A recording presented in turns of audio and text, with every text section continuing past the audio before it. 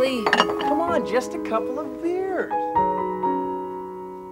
I would have been 60 today, wouldn't I? Man, I said you. I'll be there with you.